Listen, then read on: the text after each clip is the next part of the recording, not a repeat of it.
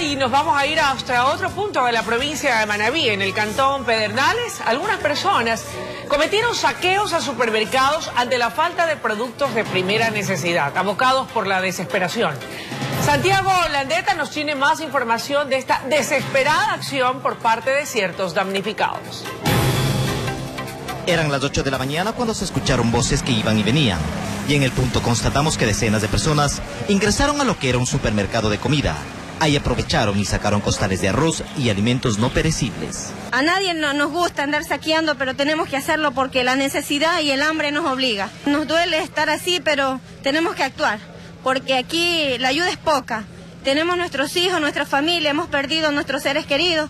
No estamos robando, estamos es sacando porque dicen la gente hay que llevar para poder estar hasta un mes como, como malo por, con lo que llevamos, porque de ahí para allá no sé cómo que vamos a sustentarnos aquí. La falta de alimentos en el cantón Pedernales ocasionó que las personas que se encontraban cerca del Parque Central se apropiaran desesperadamente de una funda de cualquier producto. Ellos justifican su acción ante la falta de una distribución equitativa sobre las donaciones que vienen de todas partes del país. La ayuda que viene solamente dejan por las vías, no recorren los demás barrios, solamente en las vías se acuerdan que en las vías hay gente que comer.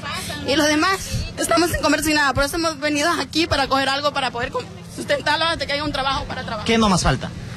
De todo, de todo, medicina, todo, todo hace falta. La gente cogió lo que más pudo, agarró y...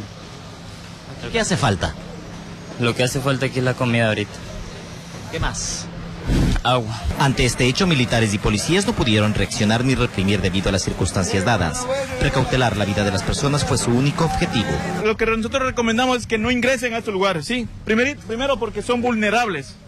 Tenemos estructuras que están afectadas, que en cualquier momento pueden venirse encima de las personas que intentan entrar acá. Un problema sanitario que los habitantes de Pedernales desconocen es que ciertos productos están contaminados con sangre que emanaban mal olor resultado del fallecimiento de varios cuerpos en el sitio.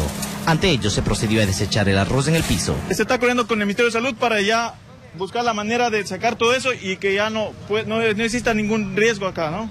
Por eso están, están puestas las, las vallas Estamos, está personal uniformado para evitar esa situación, ¿sí? Además, a esta novedad se añadió la posible localización de un cadáver que está siendo explorado por miembros de Socorro. Con cámaras de Hernán Guano desde el Cantón Pedernales, informó Santiago Landeta.